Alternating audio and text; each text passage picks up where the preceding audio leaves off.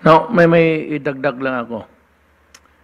Mga kababayan, nakita naman ninyo yung deliveries, yung dumating ng bakuna.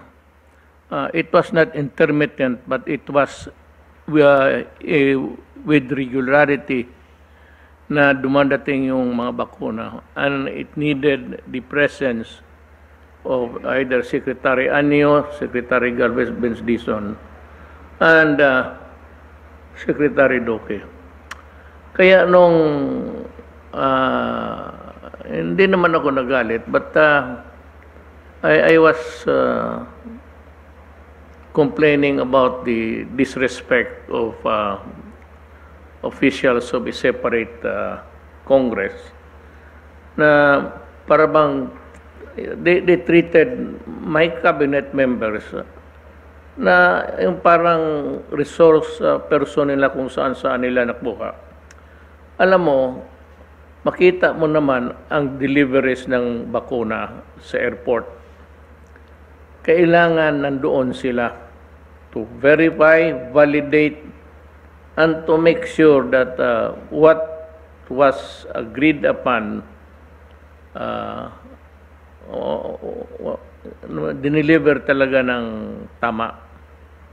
Yun ang ano ko. Kasi pinapatawag nila itong apat minsan sa umaga o sa hapon pero hindi naman nila tinatawag to testify. And it happened uh, several times. Ako na po ang hindi naman naawa but uh, we it, it's our duty really to obey the processes of Congress also. It's given. Wala akong ano dyan. Uh, admittedly, they have the power to summon and if you do not obey the summons, you can be cited in contempt sa Congress. Walang question yan.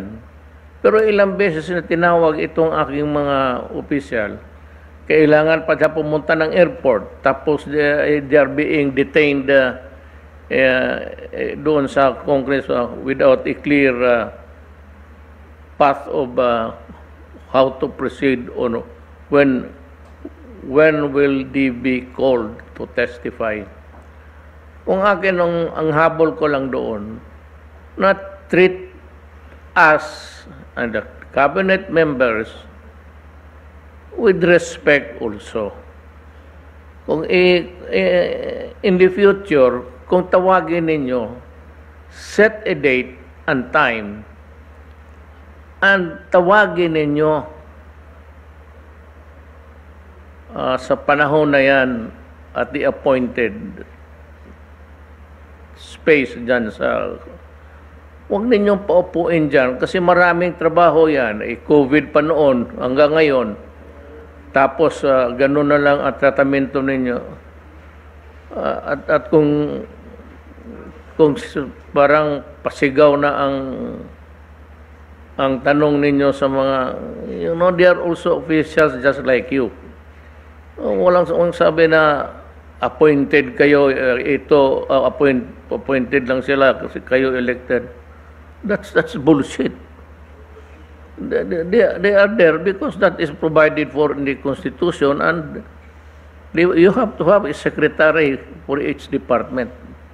Hindi naman yan na mamimili ka lang ng kung sino-sino dyan ilagay mo. Uh, do not place so much importance dyan sa position mo just because you are a senator. Ito si Gordon talagang lumaki ang ulo. He treats uh, other people like inferior sa kanya. You know, gawain mo yan sa iba, wag sa akin.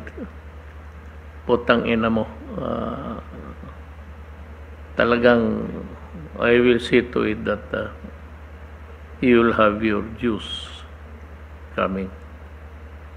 Ah, bastos ka eh. Bastos ka na tao, Gordon. Bastos ka.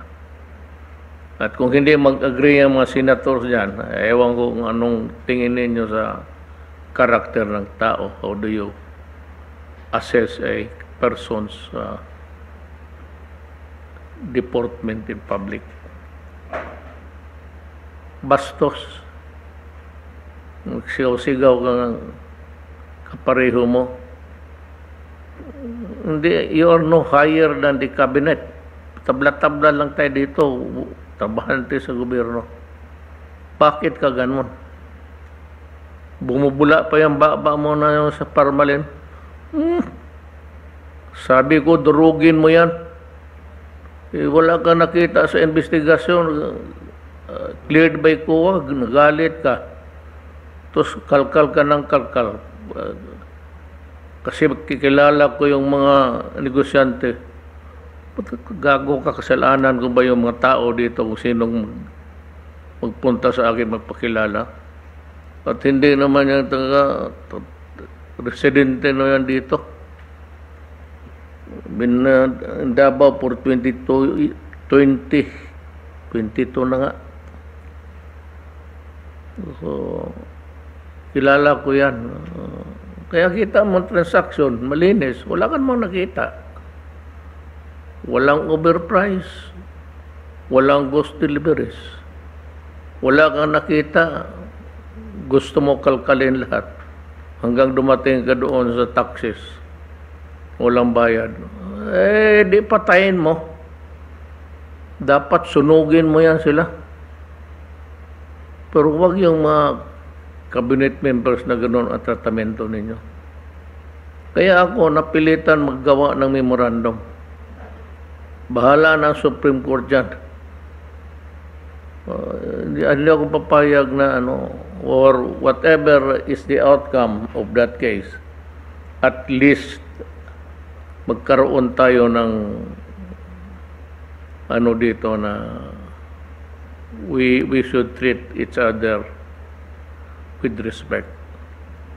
Do not shout at the fellow workers of government, lalo na mga cabinet members. Kasi tinuloy mo yung gano'n, ah, magkagulo talaga tayo. At sinabi ko sa kanila, stand up and tell them that you're leaving. You are arrested, I will go there and get you. Ayaw ninyo, adi gulo. Yung mga sabi niyo, I'm threatening. You are the one threatening the entire uh, program of government. Eh, Anong threatening? Kayo lang ba marunong magsigaw-sigaw sa tao?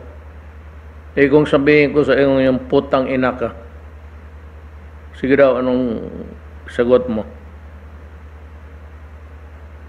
Saan mo gustong magkita tayo? Kalaki-laki ng muka mo, hindi, mag, hindi magmintis itong sampal ko.